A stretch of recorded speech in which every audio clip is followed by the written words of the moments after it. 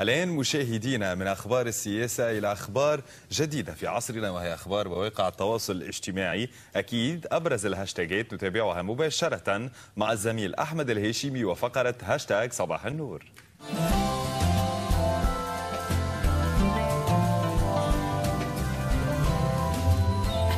هذه اسمها الدخول العجيب يوم الجمعة وحركات صباح النور. جيت من فيينا؟ لا من فكرتك بديت تتعلم في الفالس شوية. سنتوريني مالتك.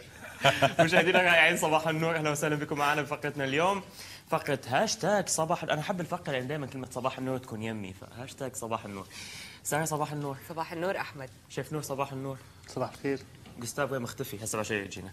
مشاهدينا أهلا وسهلا بكم معنا. رح نبدأ بأهم ال hashtags الساعات القليلة الماضية واللي كانت فعليا متصدرة أكثر شيء يوم أمس. خلينا بعد إذنكم نبدأ مع مملكة الأردن.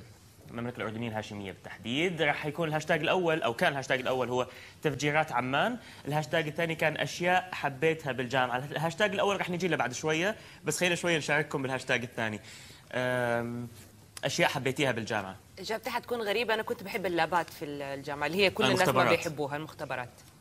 انت إيش حب انت يعني أنا آسف سألتك بس يلا. ليه أنا عملت برشا حاجات ما هي مش بالجامعة ما هي هذه المشكلة. يعني بصراحة بالنسبة لي أنا أعترف وأعتذر من جامعة منوبة لأن فتحتها مشروع استثماري. نور شو كانت علاقتك بأيام الدراسة؟ الرفقة. الأصدقاء. أصدقاء جوستاف صباح النور جوستاف صباح الجوستاف صباح الخير. أيام الجامعة. أيام الجامعة؟ الفوضى. ما كان في عندي دقيقة أتنفس. أتخيل. إيه. كلها طبخ. ما ابدا ما في شيء. مشاهدينا اذا كان هذا الهاشتاج الثاني. الهاشتاج الأول كان تفجيرات عمان. البارحة كانت آه، ذكرى تفجيرات الفنادق في عمان. خلينا نشوف الصورة اللي احتلت ال- ال tweet ب- ب- التويتر بالنسبة للأردن. كان كل الأسامي وأسامي المرحومين الله يرحمهم إن شاء الله ويتقبلهم عنده. اللي كانوا فعليا ضحايا أحداث تفجيرات الفنادق في عمان طبعا نلاحظ الاسم الأخير كان المخرج الرائع والعظيم. الله يرحمه الأستاذ مصطفى الله العقاد والله يرحمه اذا كان هذا بالنسبة لي الأردن. نشوف من بعد الأردن لبنان. الهاشتاج الأول كان الدولة هي الحل الهاشتاج الثاني كان عقاب صقر الهاشتاج الثالث كان شو تغير هالسنه الهاشتاج الثالث كان شخصي الهاشتاج الثاني كان مشاركات آه، عقاب صقر على التلفزيون الهاشتاج الأول كان الدولة هي الحل. إضافة إلى بعض ال hashtags اللي فعليا تغيروا والبارحه كان أكو هاشتاج اسمه كلام الناس نسبة لبرنامج كلام الناس اللي كان به مجموعه كبيرة من المهاترات والنقاشات لها علاقة بالأزمة الحالية التي تعصف بلبنان وبالمنطقة فعليا. من بعد لبنان ننتقل إلى الكويت. ال- الهاشتاج الأول بكلمتين أوصف نفسك كذلك كان شخصي. الهاشتاج الثاني بياع رقي عقوبة آه، عقوبة 100000 آه، 100000 دينار. الفكرة كانت تحت وتكلموا كثيرا عن البدون الموجودين في الكويت وعلى عدم وجود فرص عمل لهم لذلك يعني يلجؤون إلى بعض الأعمال بين بيع الخضروات وغير ذلك. وأكثرها كان الرقي اللي هو البطيخ بعالمنا العربي معروف بهذا الاسم بدول الخليج. هذا بالنسبة للكويت ننتقل إلى عمان. الهاشتاج الأول كان تويتر 280 حرف وكان تعليق على ال 280 حرف راح تزيد راح تقل راح تضل مثل ما هي. يعني كان كثير آه، يعني آه، نقاش حول هالموضوع. وك- وكذلك شخصي يعتبر كل أحد قال قال رأيه بالموضوع. الهاشتاج الثاني قولوا لقطر. وكان يعني الكلام الكثير اللي صار عن الأغنية التي فعليا انتشرت اللي كان اسمها قولوا لقطر. من بعد عمان ننتقل إلى قطر نفسها. الهاشتاج الأول كان صلاة الاستسقاء الدعوة لصلاة الاستسقاء فعليا كانت أكثر من مرة. الهاشتاج الثاني كان دول الحصار وتعقيبا على يعني جميع الأحداث اللي حصلت ما لها علاقة بالحصار. من بعد ذلك نشوف آخر دولة معنا اليوم الجزائر.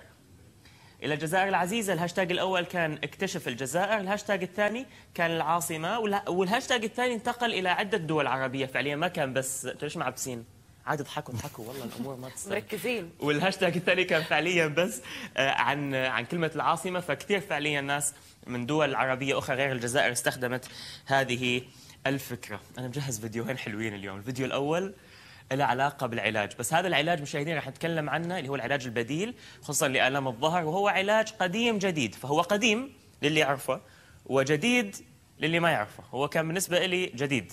نشوف بالنسبة لنور وجوستاف وسارة وأمين والمصورين والناس شلون راح يتعاملون مع هذه الفكرة. عندك وجع ظهر جوستاف لا ابدا. أحمد ربك شوف.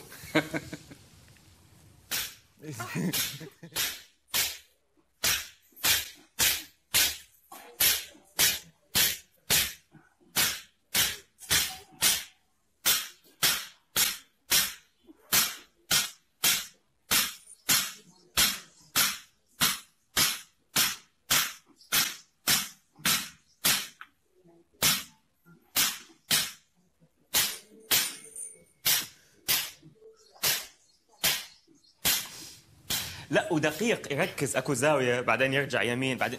عمي عيد عيد عيد من الأول عيد. تعرفها أحمد آه، يقول لك واحد افتح ورشة في قلبي هذا فتح ورشة في ظهري. يعني بصراحة مسكين. ماني. بس أنت تتوقع أكو حل؟ هو آخر الفيديو إذا المشاهدين يشوفون الحل آخر الفيديو قام عادي طبيعي وراح مشى آه عادي. إيه بس هو يعني إيه والله هو نفس السؤال عادي. آه وي آه. والله وقام وراح. آه الله حجي يعطيك العافية. انزل انزل سوي تمرين يسوي test للعلاج إذا مشى الحال ولا لا. زين إذا كان هذا فعليا الفيديو الأول، الفيديو الثاني مشاهدينا راح يكون من بعد الانتقال من الآلام والأوجاع وكذا كذا كذا السوالف هذه كلها، ننتقل إلى الطعام وألوان الطعام اللطيفة التي نتلذذ بمشاركه أصدقائنا والناس اللي نحبهم فعليا. وهذه الفكرة اللطيفة الحقيقية داخل العالم الافتراضي، أنت متعودة لما. أكثر شيء البنات مميزين بيها، إذا أكو صحن حلو شو يسوون؟ آه، بيصوروه وبعدين آه، بياكلوه. بس آه، بس لا هي نفس الفكرة. بس الفكرة إنه أنت بدك تصور يجيك أحد أنت. مش.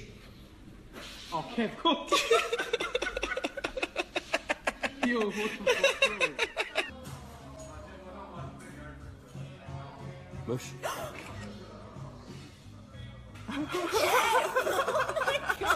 dog. Oh. Mush. What are you doing? I know, you go yeah, give me a number. Have a little bit.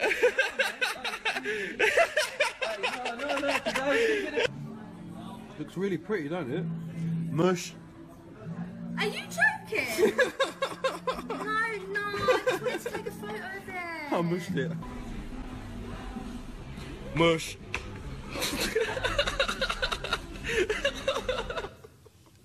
لطيف. إذا هذا كان مشاهدينا الفيديو الثاني اللي كان معانا. بس بالنسبة لل videos والتصوير وتصوير الصور فعليا وإنزالها على. على مواقع التواصل خلينا نشوف فعليا ال- ال Statista وإحصاء 2016 اللي يظهر 2016 ولا إيه؟ 2016 صح. اللي يظهر أكثر مشاركات عبر إنستغرام لما يعنى بالماركات العالمية طبعا بحسب التوصيفات والتصنيفات العامة. خلينا فعليا نشوف أكثر شيء كان كل شيء له علاقة فعليا بالسيارات وكانت الاهتمام فعليا نسبه نسبة الناس في 2016 بالاحصاء اللي صار في شهر ثلاثة هي 100% ال- الثاني بالنسبة للإنستغرام كان الفاشن أو كل شيء له علاقة بالموضة.